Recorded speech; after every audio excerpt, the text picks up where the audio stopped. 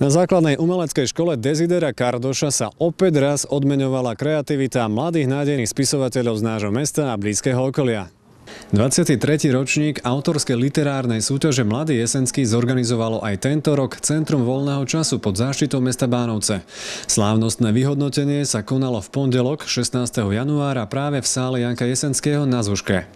V úvode privítala nielen zúčastnené mladé talenty, ale aj pozvaných hostí riaditeľka CVčka Miriam Kiripolská, ktorá neskrývala spokojnosť z tohto ročníka súťaže.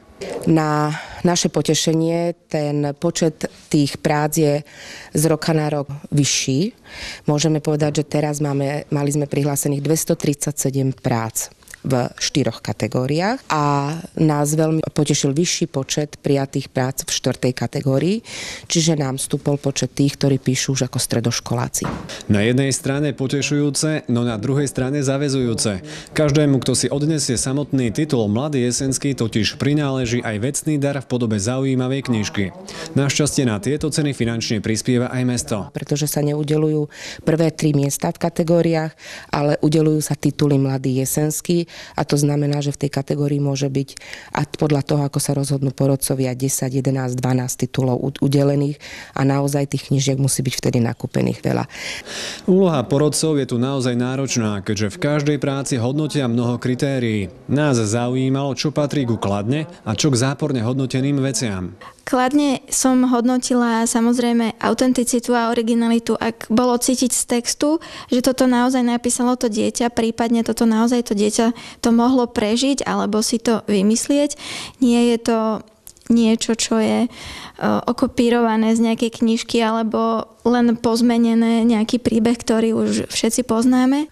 Takisto humor, keď sa objaví v detských prácach, tak sa to hodnotí kladne, lebo to je tá fantázia a odráža sa v tom veľa z toho, toho talentu a intelektu dieťaťa. Našli sa bohužiaľ aj práce, ktoré vyslovene nielenže čerpali z, z nejakých iných už hotových diel, ale vyslovene ich, e, povedala by som, až opísali čo je naozaj v zásade nepríjemné, najmä preto, že väčšinou sa nám to odhaliť podarí a keď aj nie, tak klamú v podstate len sami seba a e, nerozumiem úplne tej motivácii, prečo vstupovať do nejakej súťaže, autorskej súťaže takýmto spôsobom.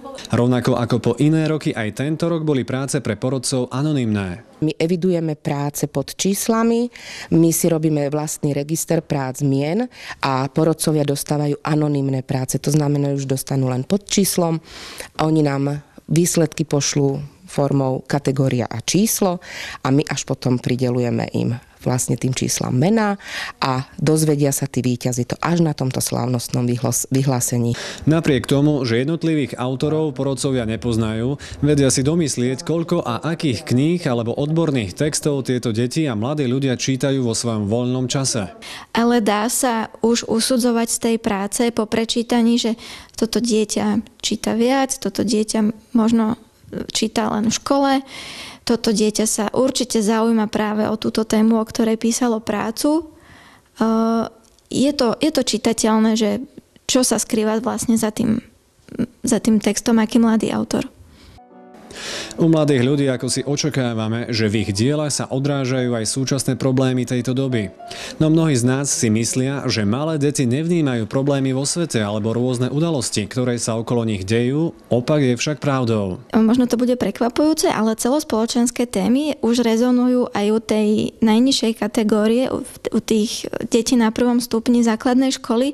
Aj tí už dokážu reflektovať spoločenské témy alebo rôzne neduhy, rôzne kladné alebo záporné charakterové vlastnosti, rodinné problémy, alebo aj také vyslovene veľmi aktuálne veci, ako je napríklad prílišné sedenie pri počítači na internete a bola tam práca, kde, kde sa dieťa až preľaklo, ako sa nechalo vtiahnuť do tej virtuálnej reality a o tom napísalo buď básne alebo prózu, už si to teraz nepamätám presne.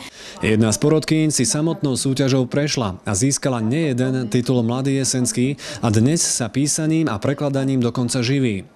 Tu je jej rada, ako písať tak, aby boli tieto práce plnohodnotné. Pamätám si veľmi dobre na tie, e, na tie časy, pretože ma to veľmi bavilo. Písanie samotné ma veľmi bavilo odjak živa v podstate.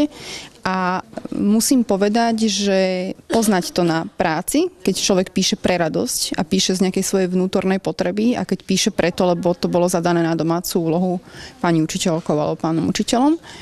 Čiže ja by som chcela odporučiť deťom, ktoré píšu a ktoré majú vzťah k písaniu, nech píšu vtedy, kedy ich to baví, nech píšu to, čo ich baví, nech píšu o tom, k čomu majú vzťah a nech to vychádza z nich samotných, pretože keď to nebude vychádzať z nich samotných, tak jednoducho to písanie sa nikdy nestane pre nich niečím viac, než nejakou povinnosťou. Práve vtedy máte najväčšiu šancu uspieť aj v takýchto súťažiach, pretože príbehy sú potom také originálne ako každý jeden z vás. Všetkým nielen oceneným autorom srdečne blahoželáme a mená všetkých mladých jesenských si môžete prečítať na videotexte Bánovskej televízie. Schopnosť písať sa u mladých bánovských talentov určite nestratí a o rok sa na tejto súťaži stretnú opäť no s novými príbehmi.